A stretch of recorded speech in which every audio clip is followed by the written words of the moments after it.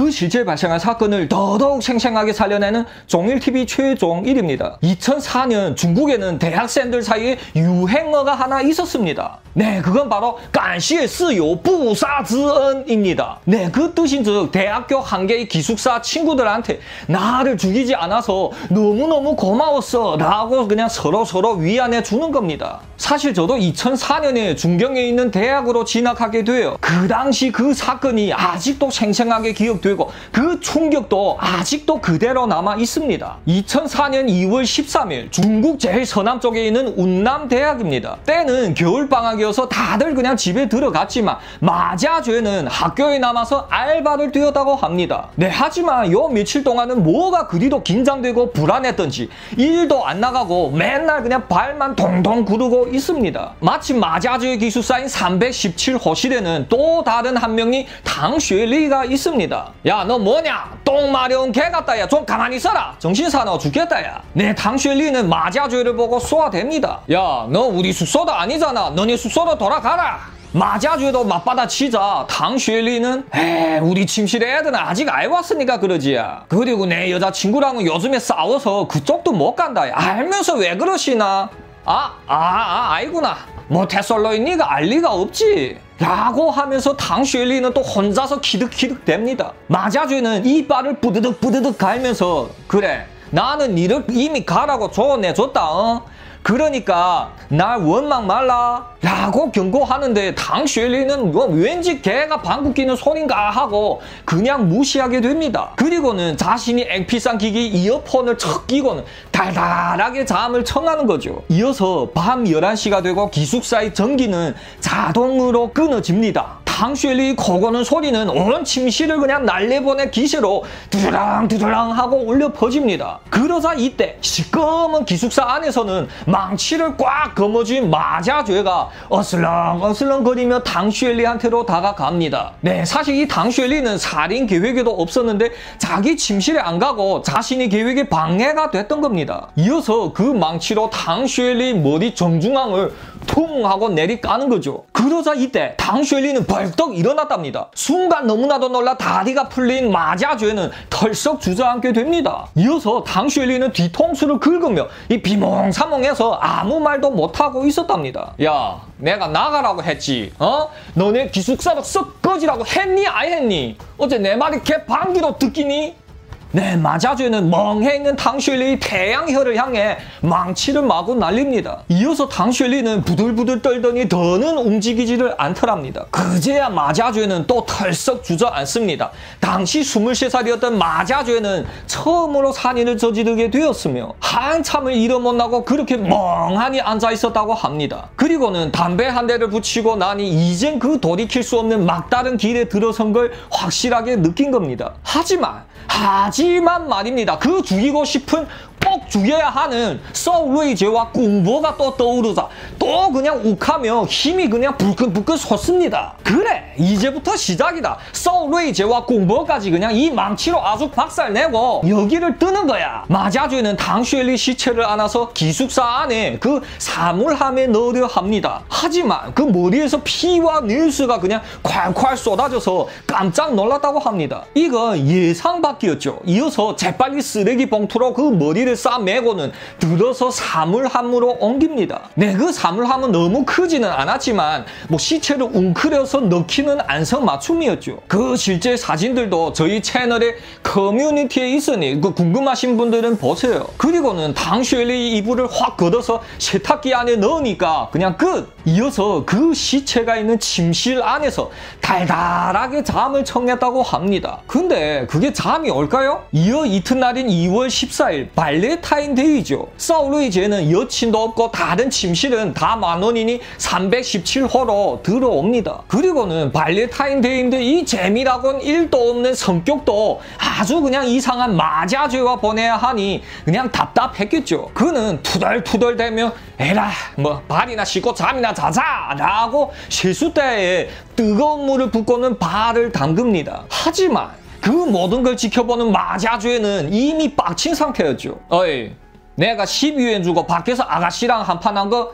네가 나불댔니? 라고 서울웨이지한테 묻습니다. 그래 내가 나불댔다 왜? 사실이잖아. 나불대는 게 싫으면 하지를 말았어야지. 야, 근데 니도 야 참 했다야. 아무리 못해솔로라도 너무 했지야. 아니 12위엔짜리 아가씨라니. 아니지 아니지. 그런 건 아가씨가 아니고 할머니겠지. 야 그래 그래 느낌이 어떻대? 어? 달달하네. 마자주는 빡치는 분노를 가까스로 참으며 이 이불 안에 감춰둔 망치를 더더욱 으스러지게 잡습니다. 에이 뭐 잠도 안 오는데 게임이나 한판 해야겠다. 사우르이제는 세수 대야를 컴퓨터 책상 밑으로 옮기고는 편안하게 발을 담그고 게임을 시작합니다. 하지만 이때 그 뒤에 마자주가 슬그머니 다가갑니다. 이어서 그 사우르이제의 뒤통수를 퉁 하고 내리까는 겁니다. 사우르이제는 갑자기 한 방을 먹고 또 멍 해서 마자주를 뒤돌아보려 하는데 또 퉁퉁퉁 하고 그냥 망치가 날아오더랍니다. 그러자 사우루이지는 눈알이 툭 튀어나와서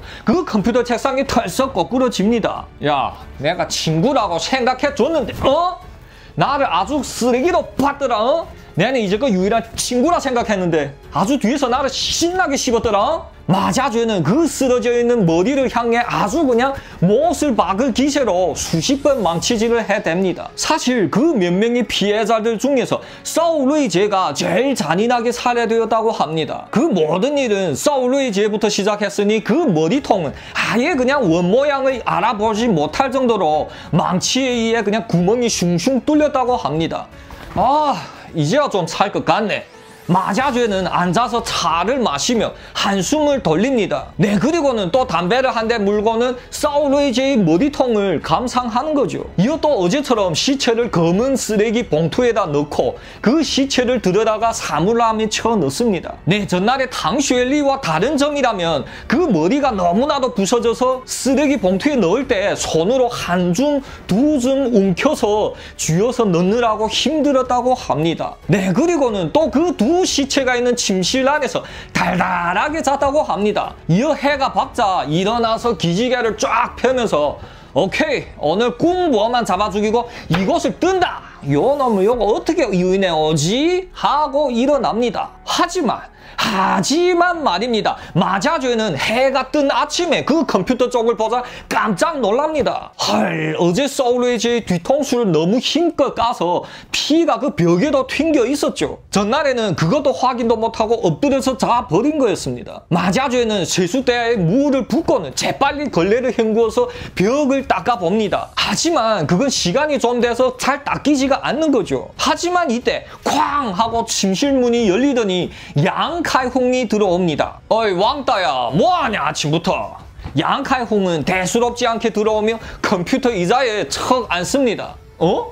저건 뭐냐? 케찹이 왜 벽에 붙어있지? 네, 양칼홍은 당연히 그 빨갛게 말라있는 흔적이 사람이 혈액이라고는 상상도 못했죠. 근데 저 흰 거는 뭐야? 두부야? 이 왕따가 또 뭐 혼자서 처먹다가 벽에다 칠했냐? 니 그래길래 왕따인 거다 이 왕따야. 아니 근데 사울루이 쟤는 아침부터 어디 갔니? 우리 카드게임 해야 되는데 야 어디 갔니? 네, 양칼홍은 컴퓨터를 켜고 게임을 시작하면서 지금 나불대고 있는 겁니다. 양칼홍아, 넌 말끝 마다 날 왕따 왕따 부르는데 내 감정을 이해해 본 적이 있니? 네 그러자 양칼홍은 마자주를 쳐다도 안 보며 담배를 가로물고 게임을 시작합니다. 이어서 자신을 무시하는 양칼홍을 쏘아보다가 마자주는 또 이불 안에서 망치를 꺼내 듭니다. 그리고는 갑자기 달려들며 퉁 하고 또 내리깝니다. 야 내가 왕따라고 부르지 말래 왕따라고 부르지 말랬지. 언젠가는 죽여본다 했니? 아이 했니? 네, 이어서 그 마자주에는 또 뒤통수를 한번 내리까니 왕칼홍은 컴퓨터 책상에 그냥 푹 거꾸러졌다고 합니다. 그리고는 그 머리를 향해 또 분노의 망치질을 해대니 그 피가 그냥 또 사방으로 그냥 팍팍 튕깁니다. 아, 니도 죽일 마음은 없었는데 왜 하필 이때 와서 나불대니? 어? 그 다음 생에는 주둥아리 깔끔하게 하고 다녀라 들었니? 네, 이어서 또 신문지들을 사물하람에 그냥 꾸역꾸역 쌓아놓고는 양칼 홍이 시체를 집어넣습니다. 그리고는 이제 지우기도 귀찮았겠죠. 망치를 허리춤에 척 차고는 침실에서 나옵니다. 이어서 공부의 침실로 가는 거죠.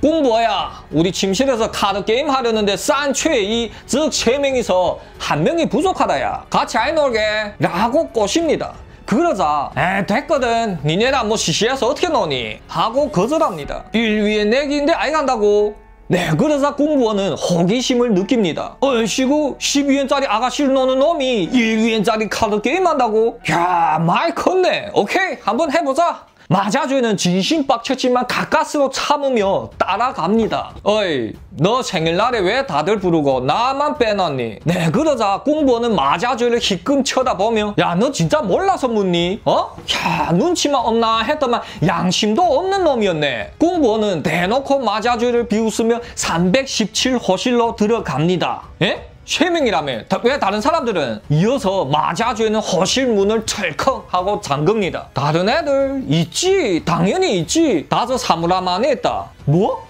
이어서 공부의 눈에 들어온 건 컴퓨터 책상 위 피들이었습니다. 또 이어서 퉁 하는 소리와 함께 공부원은 앞이 캄캄해집니다. 또 이어서 퉁퉁퉁 하고 그냥 수박 깨지는 소리가 나는 겁니다. 네 그리고는 그 호주머니를 털어보고 또 검은 봉다리로 머리를 싸매고는 사물함 안에 쳐넣습니다. 나중에 경찰들은 왜 검은 봉다리로 머리를 다 쌌냐고 묻자 마자죄는 죽은 사람들 눈이 그렇게 두려웠다고 합니다. 다른 건 다 그럭저럭 괜찮았지만 그 망치로 뒤통수를 쳐서 죽으니 눈을 감지 못하고 다들 그냥 눈들이 삐죽이 나와서 죽었답니다. 그럼 또 왜 망치를 썼냐고 물어보자 그게 제일 싸서 그것밖에 구입할 돈이 없어서 망치를 사서 했다고 합니다. 그렇게 네 명을 죽이고 마자죄는 짐을 싸고 그곳을 뜹니다. 네 그러면 대체 어떤 큰 원한이 있었기에 이 정도까지 처참하게 죽였을까요? 아니 다른 배우지 못한 살인자들도 아니고 배울 만큼 배운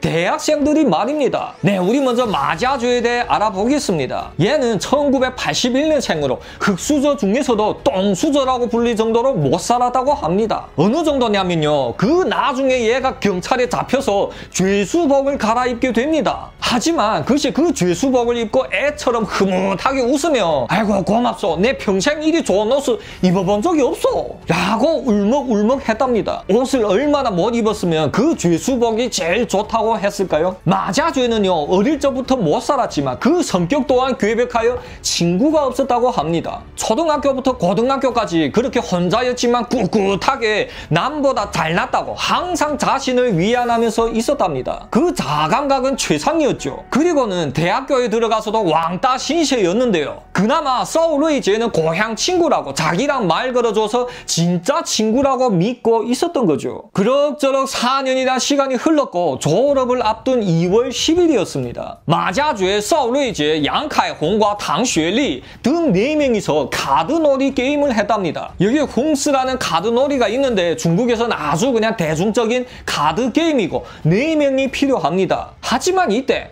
어이 마자주야 니는 이게 얼마나 되는 게임이라고 어? 여기서까지 밑장 빼기야 서울의제는 매우 멸시하는 눈길로 마자주를 보고 쏘아댑니다. 뭐? 밑장 빼기? 나 그런 거 한 적 없는데. 마자주는 매우 당황하며 아니라고 부정합니다. 아니 이게 뭐가 아니야? 어? 니 그렇게 치사하게 노니까 친구가 없는 거야. 저번에 꿍부어가 생일 파티를 했는데 왜 너만 뺐을까? 어? 니는 인간 됨됨이가 안 된 놈이다. 에라 퇴! 상종을 말아야지.